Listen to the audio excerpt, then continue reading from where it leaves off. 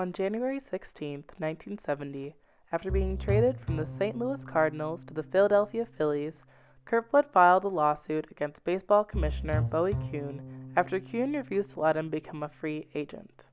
The conflict lay in baseball's antitrust exemption and the reserve clause in players' contracts that kept their careers hostage by team owners.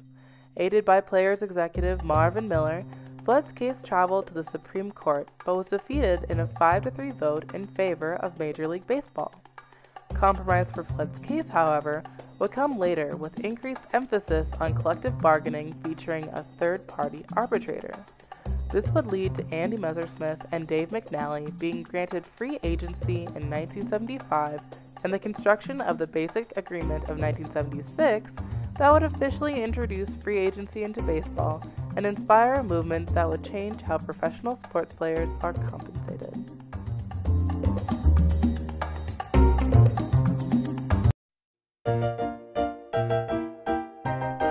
Curt Flood wasn't the first person to challenge baseball's antitrust exemption or its reserve clause.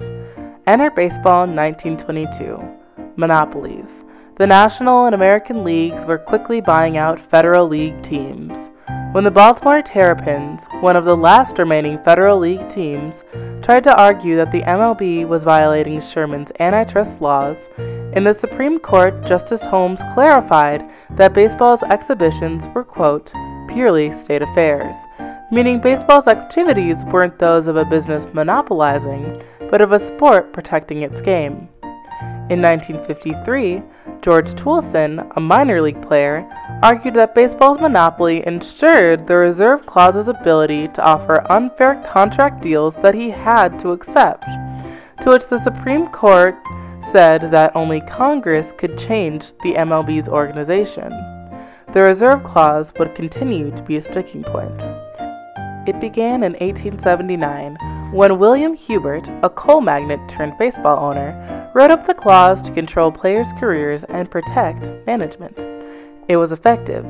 Once a player signed with a team, the team could renew the contract and salary for a player every year, even if no agreement was reached.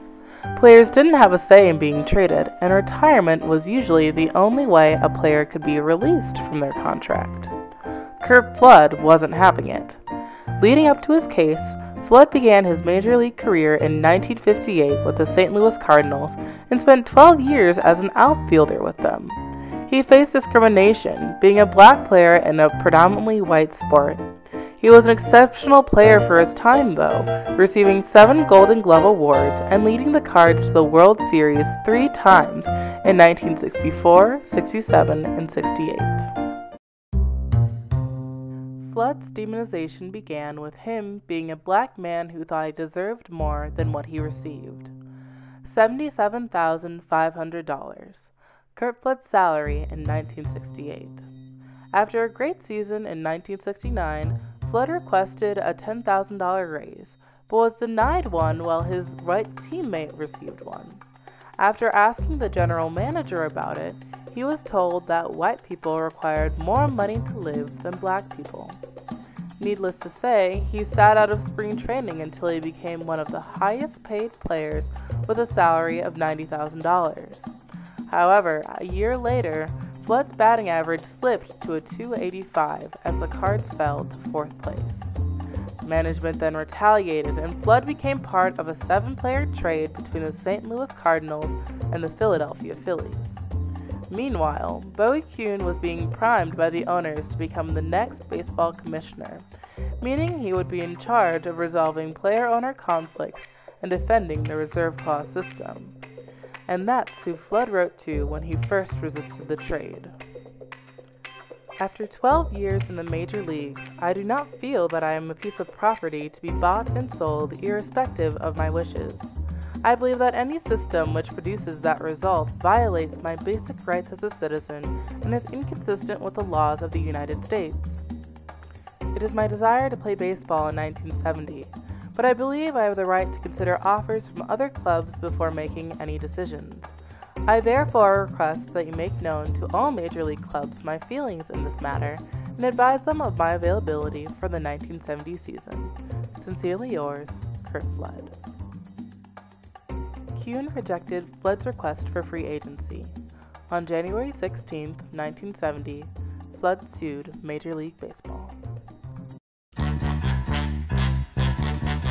Flood claimed that the reserve clause violated federal and state antitrust laws, civil rights laws, laws prohibiting peonage and slavery, including the 13th Amendment.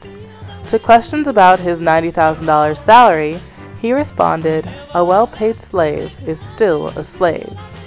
It was a controversial stance that would leave Flood without the support of his teammates, who feared the retaliation of management.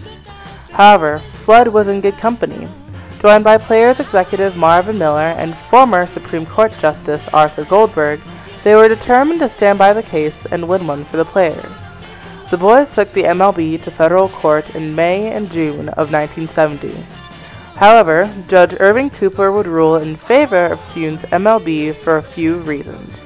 Since a player could retire, no compulsion was involved in the player contract.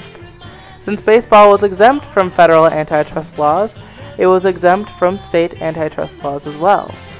And finally, Judge Cooper concluded that conflicts between owners and players could be resolved in collective bargaining within the players' union. No need for court. The appeals court held much the same opinion, but Flood kept pushing the case, and after submitting it to the Supreme Court, a hearing occurred on March 20, 1972. It was Flood's last chance. For Justice Blackmun, who gave the court opinion, it was a case of, quote, stare decisis double dip. The court had already twice decided that baseball was exempt from antitrust laws, and this time was no different. Flood's case lost in a 5 to 3 vote, and Flood's fight was now at an end. The case had cemented it. The courts could not strike down the reserve clause. The loss was a blow for Flood. After sinking thousands of dollars into court hearings, he was broke and on the brink of alcoholism. Although he briefly entered back into baseball with the Washington Senators, the death threats he received from baseball fans and the retaliation he faced from management forced him to leave after half a season. I had decided myself ready to make sacrifices for a principle, and now I was finished. Baseball, the best thing I did in the world, was finished. However, all was not lost for baseball. As Marvin Miller would put it, much more important, what Flood versus Kuhn really accomplished was raising the consciousness of everyone involved in baseball. Even in the year 1970, the collective bargaining agreement was already becoming part of baseball's basic agreement. The basic agreement of 1976 shortened the reserve clause to only six years, not an entire career. Baseball was finally becoming free. Curt Flood's case inspired athletes in all professional sports to challenge their reserve clauses in the 1970s and 80s. The National Basketball Association allowed players to solicit offers from other teams. NFL and NHL players would also be granted free agency in the years to come.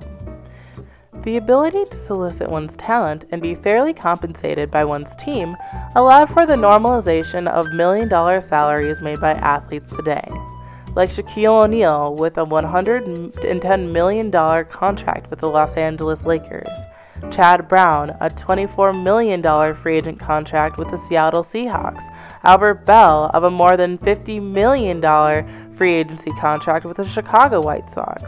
Additionally, the Curt Flood Act of 1998 was passed posthumously after Flood lost his battle with cancer. The act limits baseball's antitrust exemption to only certain conduct of Major League Baseball, continuing to fulfill what Flood fought for. Flood was a part of a legacy of black athletes using their platform to create change. The question for fans is how do we respond?